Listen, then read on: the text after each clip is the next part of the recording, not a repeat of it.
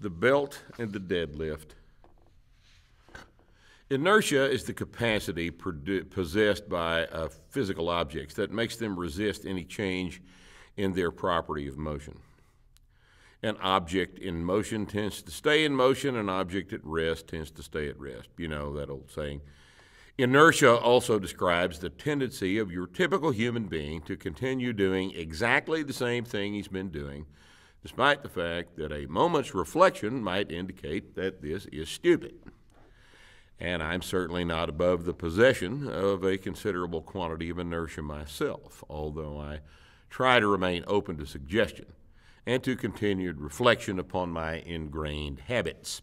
I occasionally become aware of a flaw in my thinking, or lack thereof, which merits correction. And when I do, I'm compelled to share the revelation.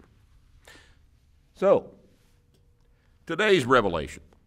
Most people have no business wearing a four inch power belt for the deadlift. Unless you're very tall or long waisted, a four inch standard power belt is too wide to permit a correct lumbar position at the start of a correct deadlift. First, the lifter's belt provides a way to increase the effectiveness of the muscular contractions around the thoracic and abdominal cavities during a heavy lift. It works by giving the muscles around the spine something to contract against so that they can produce a harder isometric contraction with the belt than they can without it. Like throwing a wiffle ball versus a baseball, or like learning to clean with a piece of PVC instead of a barbell, it's hard to produce force against little or no resistance. The belt provides this resistance to the trunk muscles, and the result is a harder contraction when the belt is worn. Muscles contract along their length, and the rectus abdominis, the erector spinae, the obliques, the transversalis, and all the small muscles of the pelvic floor are no different in this respect. When they contract isometrically, they brace the skeletal components to which they are attached. The belt enhances this contractile ability. When your abdominal muscles are not tightened, they hang in a position most graciously described as convex outward. They relax away from the spine in a lengthened configuration. When you contract them, they shorten, changing from slightly convex to straight, thereby reducing the volume inside the abdominal cavity somewhat. This reduction in volume results in an increase in pressure. Since your gut contents are mostly water, and since water is not very compressible, the hydrostatic and hydraulic effect of this compression acts across all the margins of the abdominal cavity, in effect, stiffening the shape of the chamber.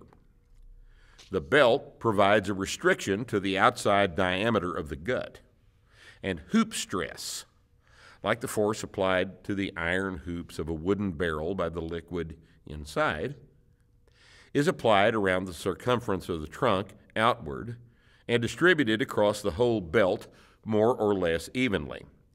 When the abdominal contraction occurs, the slightly expanding muscle bellies can only expand inward due to the restricting hoop tension of the belt, which increases the pressure in the gut. This is why wider belts work better than narrower belts. They cover more of the gut. The belt encircles the muscles around the spine, its purpose being to not deform at all under the pressure. And this is why thicker belts work better than thinner belts.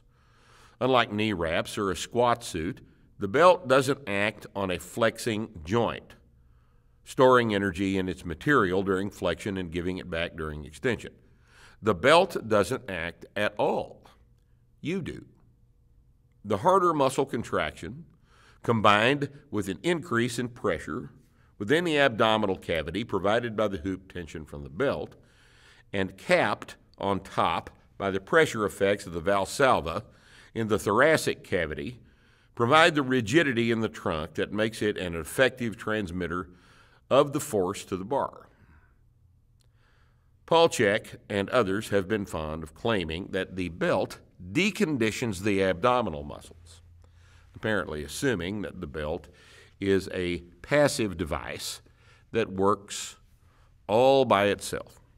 I remember seeing a rather tasteless photo slide present presentation in a video clip of one of CHEK's seminars that featured a female weightlifter losing bladder control during a clean at what was apparently the 2000 Olympics in Sydney. His claim was that her incontinence was due to wearing a belt. He was apparently unfamiliar with the actual pelvic floor anatomy, the mechanism by which the urethra remains closed, and the possible effects of childbirth, genetics, and hormones in her rather personal and, in fact, relatively common situation. The sycophantic shrinks of agreement from the gals in his front row haunt me to this day. Anyone who thinks that any part of the trunk musculature is relaxed during a heavy deadlift, belt or no belt, well, I don't know what to tell you. This essay is by no means a complete examination of the mechanics of belt use in strength training, but one of the ways the belt works is by allowing you to produce a harder muscular contraction against it than you can without it. And anyone who's paid any attention to what happens under a heavy squat or a pull knows this already.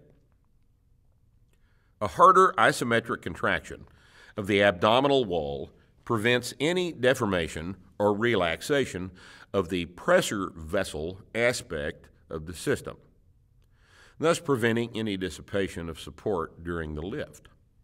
The combination of the harder isometric trunk muscle contraction made possible by the belt, and the fact that the heavier weight you're lifting provides more training stimulus than the lighter weight you'd be lifting otherwise, means that using a belt allows you to get stronger. Depending on your training emphasis, this is probably a good thing. As a general rule, post novice lifters use the belt for last warm ups and work sets on heavy days, having learned how to use it correctly. Lifters with chronic back injuries may decide to use it for all sets above 135, depending on the nature of the injury. The correct use of the belt involves learning how tight it needs to be to work, experience being the only way to learn this. Too tight, and you're stretched up too far to make an effective isometric contraction. Too loose, and there's nothing to push against. A loose, a loose belt is merely decorative.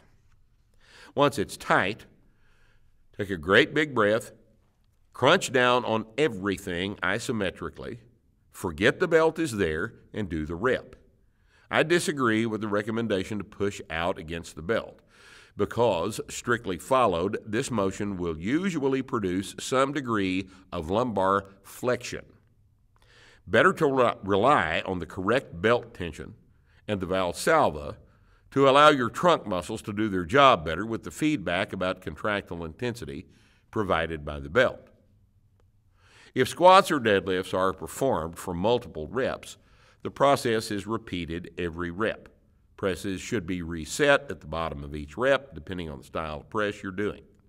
Multiple reps on the bench can be performed on one breath by an experienced lifter wearing a belt.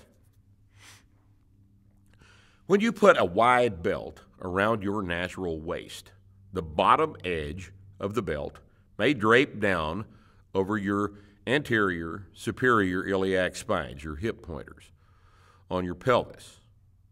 Or it may ride a little higher depending on your natural waist length. If your ribs are close to your hip crests, like mine, it's going to ride lower, down close to your hip crease. The crease form between your torso and the top of your thigh in hip flexion. In this position, when you go into hip flexion to set your back for the pull, the lower edge of the belt usually touches your upper thighs. If it's higher, it won't. And this discussion will not apply to you. But if you're shorter or short waisted, or you coach someone who is, and this adds up to lots and lots of people. You really need to think about the effect of the belt touching your hip flexor area. Proprioception is the sense of the relative position of neighboring parts of the body and the strength of effort being employed in movement. That definition is from Wikipedia. Proprioception is the result of all the accumulated telemetry gathered about your body's position in space and the positions of all of the parts of your body as they relate to each other. This telemetry is provided to your brain by your sense of position against the floor at your feet, by the tension in your muscles, the sensations around your joints, and through seemingly mundane factors such as pressure against your skin from your clothing. For example, one of the ways the belt works is by providing proprioceptive feedback to your abs, obliques, and erectors, where it contacts your abdomen. We correct high squats because by proprioception caused by proprioception problems all the time. If your sweats are tight on your legs, or if your very fashionable board shorts catch on your knees when you squat. They tighten more as you squat deeper, and at some point, this proprioception provides erroneous data about your depth. We correct this by either pulling the sweats up higher into the crotch until the binding against the thighs is diminished, or changing the lifter into stretchy sweats or shorts so that the tension from the material against the legs is gone. If tight pants are the problem, and it often is, uh, so think about this when you train, this immediately corrects this proprioceptive error. The belt against your thighs does the same thing, but in this case, it affects the very critical position of your lower back. After you take your grip on the bar, the hardest part of the deadlift setup is pulling all of the flexion out of your low back. If the lumbar spine is not locked flat in extension, the low back cannot be an efficient transmitter of force between the hips and the legs and the arms, or the bar on your back. The locked lower back is what allows the force generated at the extending knees and hips to move the bar. And any change in lower back position during the pull, like any loss of rigidity in the abdominal support structures, is power lost from the system, force transmission lost from the system. And if the hips lock out in extension before your rounded lower back straightens out, you're probably going to have to hitch the bar to finish the pull. A rounded upper back can be an advantage mechanically by shortening the distance between the hips and the bar and by providing more extended knee position to start the pull from. But a rounded lower back usually means a missed attempt. When you set your lumbar spine into extension at the start of the pull, your belly moves down between your thighs and the belt goes with it. When your back is set, the belly belt assembly will fit between your thighs with a varying degree of tightness. But if your waist is short and the belt is too wide, it touches your upper thighs at the hip flexors, the top of the thighs, during the process of squeezing out the last of the lumbar flexion. This contact between belt and upper thigh provides incorrect proprioceptive information about the degree to which you have extended your back. The belt is telling your back that it is fully extended when it is not. And this can cause you to pull from a position of incomplete lumbar extension. Happens all the time.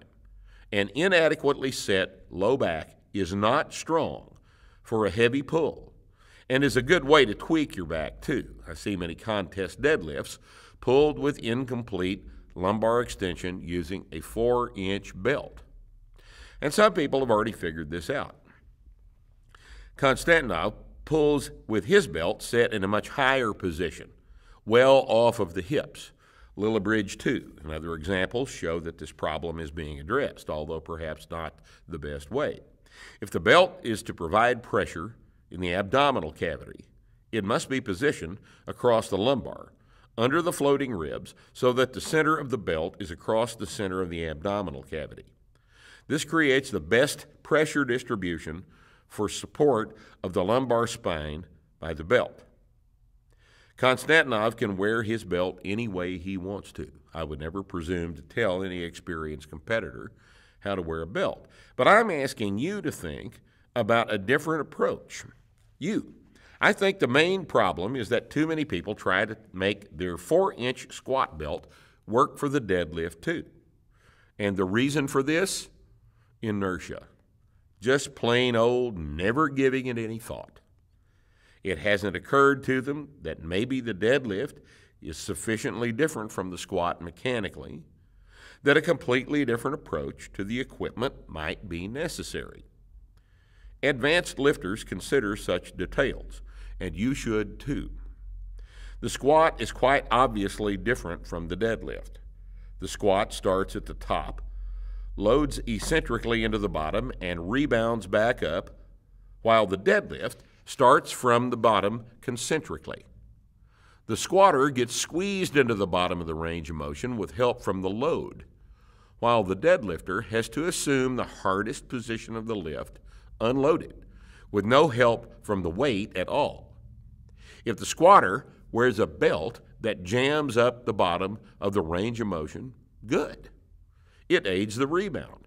But the same jamming can interfere with the deadlifter's ability to squeeze into the most efficient position to pull from, with no help from a loaded descent, creating an incomplete back set and a power leak even before the pull begins. Granted, a wider belt provides better abdominal containment and more uniform hoop tension than a narrower belt. But if it keeps you from getting into the correct position to pull effectively, it hardly matters that it works better for part of the job. If you can't get set correctly, you can't pull correctly. So the answer is to stop thinking of your squat belt as the belt and start thinking of the deadlift as a different movement that probably needs a different belt.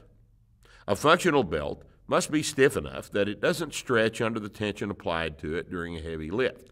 So it still has to have some it still has to have some thickness, but it doesn't need the same width as a squat belt, which was codified at 4 inches or 10 centimeters by the IPF in the early days of the organization. A belt for the deadlift works better if it fits better.